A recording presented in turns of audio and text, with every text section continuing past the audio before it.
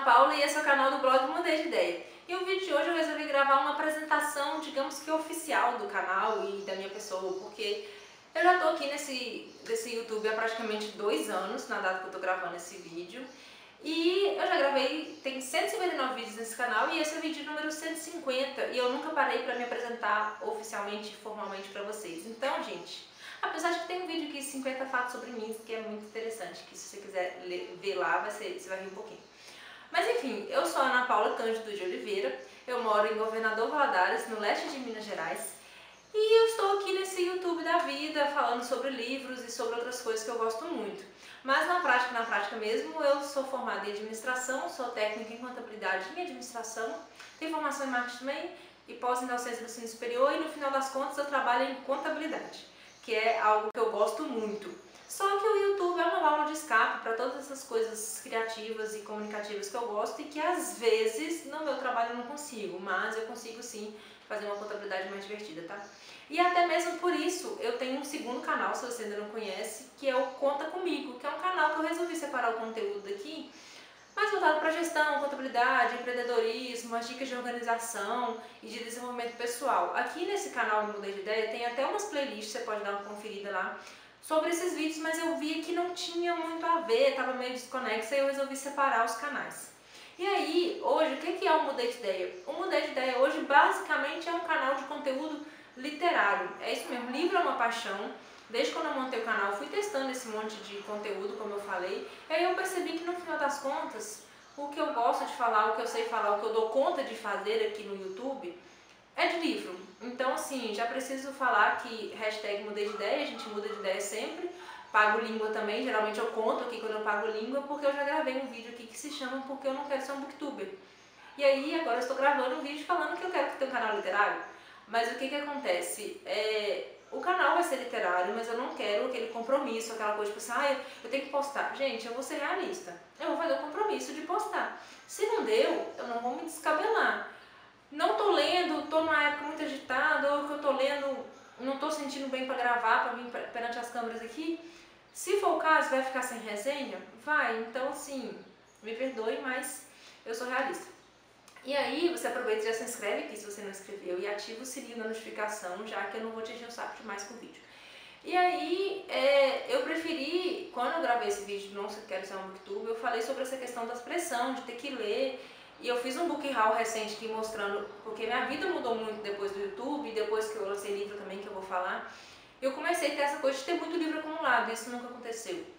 E eu não quero a pressão de tipo, ah, eu tenho que ler porque eu tenho que falar com as pessoas. Não, eu tenho que ler porque é gostoso, porque eu quero incentivar as pessoas a lerem.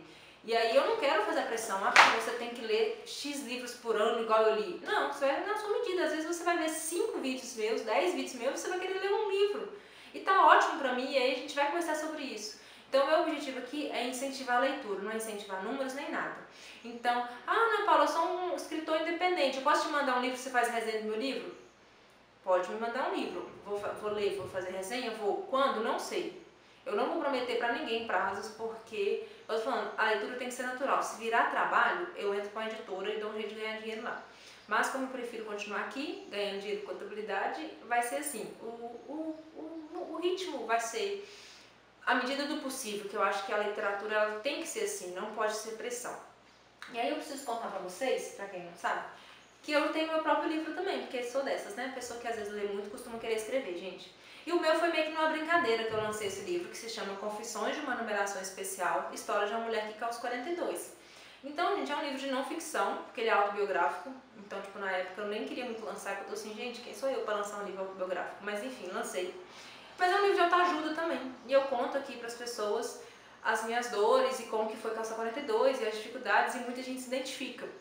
E assim, e foi tudo uma Eu lancei uma brincadeira, pensando assim, ah, só amigo e família que vai comprar, mas deixa, vai ser legal, vou ter história para contar. E aí as coisas foram acontecendo, eu tive a oportunidade de um amigo meu levar, entregar na mão da Fátima Bernardes, e o que, que aconteceu? Olha a foto aí, tadã! Fui convidada para ir no encontro da Fátima, encontro com a Fátima Bernardes.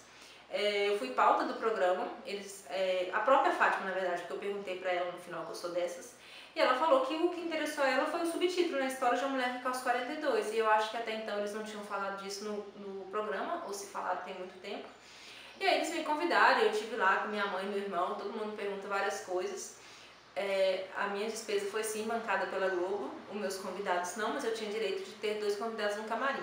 E aí eu levei minha mãe e meu irmão comigo, um dos meus irmãos, né? E aí, assim, foi lindo, foi maravilhoso. Tem fotos no meu Instagram e no Facebook, andar de carrinho no encontro e, e sentir uma, uma atriz global é algo muito legal que eu jamais vou esquecer. O dia que eu fui no encontro, que foi 28 de 6 de 2018. E aí, gente, e recentemente também com o livro eu saí no site, uma, uma reportagem no site da revista Glamour, que é uma revista que eu admiro muito.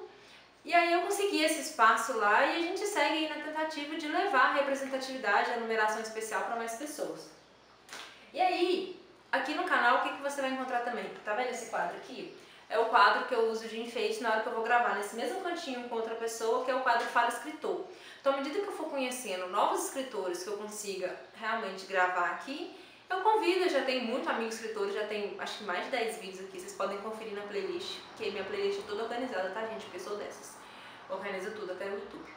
E aí tem o, o Fala Escritor, tem também o quadro Perfil Literário, que é só uma desculpa esfarrapada para falar de livro com um monte de amigo, então a gente senta aqui, tem as perguntinhas, e aí as pessoas vão recomendando os livros e viram um bate-papo super gostoso sobre o livro que são recomendações aleatórias, na verdade. E tem também, é, quando eu consigo gravar, a tag 5 livros, em que eu pego um tema e sugiro 5 livros. Tipo, 5 livros de organização, esse eu fiz com um convidado. É, cinco livros que falam sobre comida. Gente, adoro livro que tem comida como personagem principal. É, confere lá esse vídeo, depois você vai ver que é engraçado.